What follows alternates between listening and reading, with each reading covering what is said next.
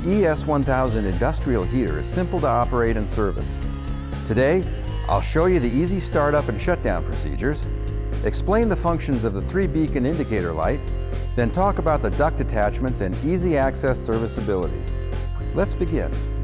To start up the ES1000, first ensure the unit is level side to side with a forward tilt and check that all circuit breakers are in the off position.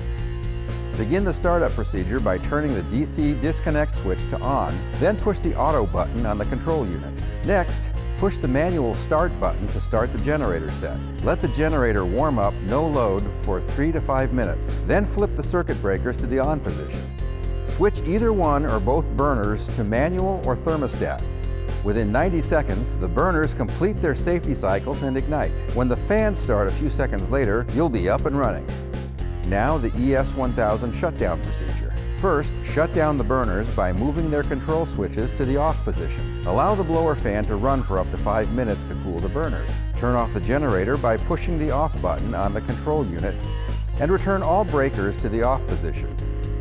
The ES1000's three beacon light saves time by giving operators at-a-glance alerts to changing conditions within the unit. The green light indicates that generator set is running normally. The red light indicates that a burner is not producing heat. And the yellow light indicates a low fuel level. The ES1000 has two 12-inch outlet ducts and one 20-inch inlet duct for each Flagro heater.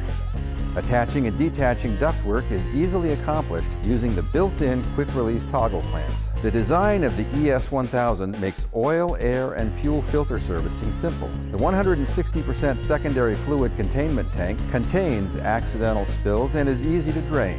Please contact your local ESR sales representative or visit the ES1000 support page on our website for more details.